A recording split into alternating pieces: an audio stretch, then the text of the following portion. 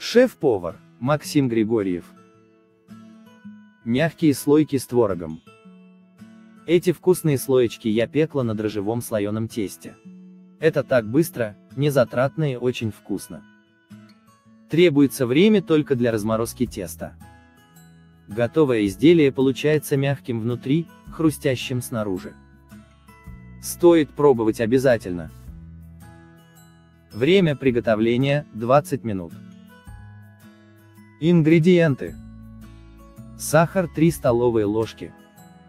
Сахар ванильный 1 чайная ложка. Соль 1 щепотка. Творог зернистый 250 грамм. Тесто слоеное дрожжевое 500 грамм. Яйца куриные 1 штука. Шаг 1. Для приготовления мягких слоек возьмем готовое слоеное дрожжевое тесто, яйцо, творог, сахар и ванильный сахар. Тесто нужно заранее разморозить при комнатной температуре. Шаг 2. Творог протереть сквозь сито, чтобы он стал более гладким и однородным. Шаг 3. Добавить в творог щепотку соли, сахар по своему вкусу и 1 дробь 2 разболтанного яйца. Вторую часть оставим для смазки.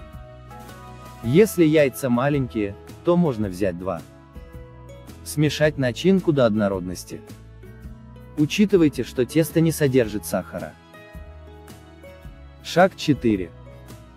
Пласт теста разделить на два равные части и если нужно, то еще раскатать. Шаг 5. Соединить два пласта теста и разрезать на равные квадраты. Шаг 6. Первая часть полученных квадратов, из верхнего пласта теста надрезать наискось, чтобы линии были параллельны друг другу. Шаг 7. На вторую часть квадратов выложить творожную начинку. Шаг 8. Накрыть прорезанными квадратиками теста. Для лучшего склеивания теста, можно смазать края квадратов водой, тщательно прижать и сделать вилкой защипы. Дать пирожкам немного подняться и смазать поверхность оставшимся яйцом. Выпекать их 20 минут при 180 С. Шаг 9. Готовые слойки лучше сразу подавать на стол, но и остывшие они тоже вкусны.